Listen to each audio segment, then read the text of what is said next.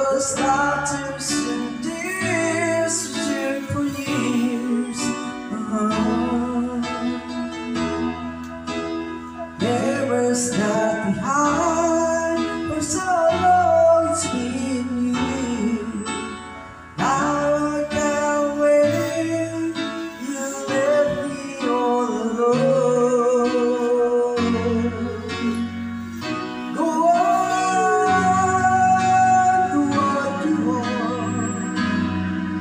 must